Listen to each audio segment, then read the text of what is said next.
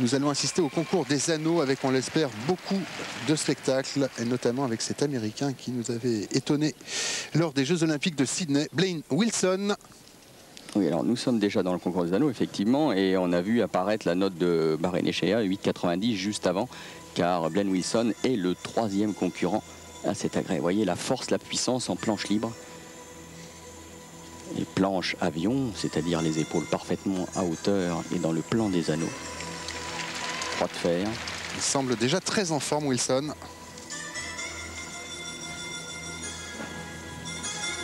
Grand élan à l'équilibre, bras parfaitement tendus, bien stabilisé.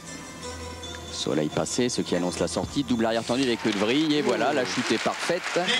Belle, très belle sortie pour l'Américain Wilson qui avait terminé, rappelons-le, quatrième du concours général individuel aux Jeux Olympiques de Sydney.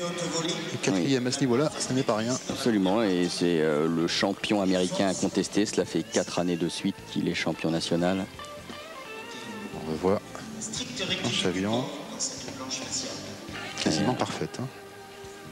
Et c'est vraiment un agrès réservé aux hommes forts, aux hommes très forts bien que vous m'ayez expliqué à plusieurs reprises, mon cher Michel, qu'il faut être placé pour ne pas forcer.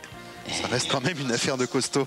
Absolument, mais c'est vrai que lorsque on est parfaitement bien placé, le rapport segmentaire est favorable et à ce moment-là, on force beaucoup